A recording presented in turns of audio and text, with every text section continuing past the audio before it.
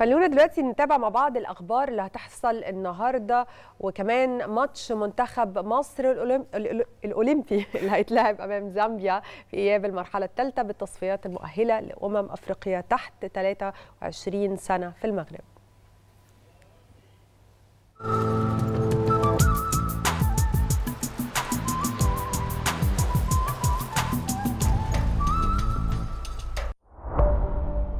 بالنسبة للأخبار المهمة اللي هتحصل النهاردة فهيصل نائب رئيس مفوضية الاتحاد الأوروبي مارغريتيس سيكيناس لمصر في زيارة بتستمر لمدة ثلاثة أيام.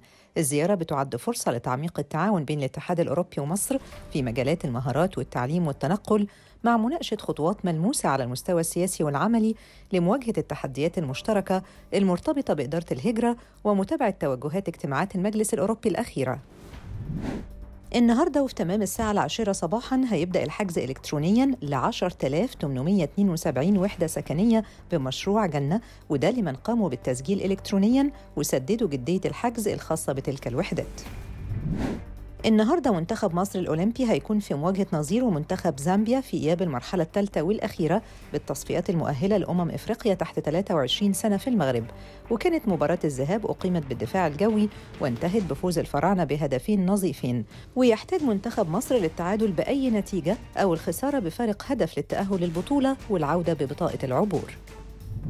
النهارده العشاء الكرة الأوروبية موعدهم مع ثمان مباريات قوية في إطار الجولة الثانية من تصفيات قارة أوروبا المؤهلة لنهائيات اليورو.